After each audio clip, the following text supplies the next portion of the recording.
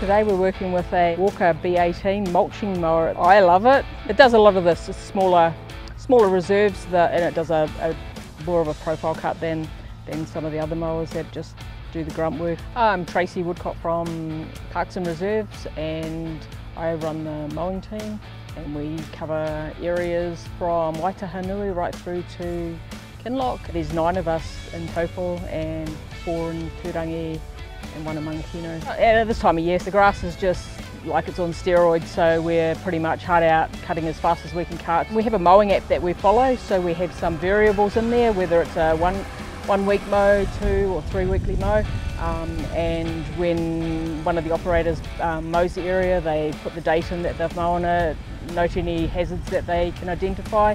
We do put a lot of hard yards into it and behind the scenes like we'll, we start um, spraying for Onehunga weed and things like that and Cape Daisy and um, we'll undersoak areas when they, the grass starts dropping dropping away and you know we're just we're just starting to get into a bit more sustainable kind of things like putting in an Agrisea product which is a seaweed product instead of a synthetic fertiliser so we're looking at a little bit more of a climate sort of responsibilities that we can put out there. I'm all about doing it, making it look good for the community at the end of the day so they get enjoyment out of all these parks that we, we look after. We, we, we love looking back and going, yeah, that looks good. So that gives us a buzz. So if we can make it look anything look good for the community, we do. So yeah.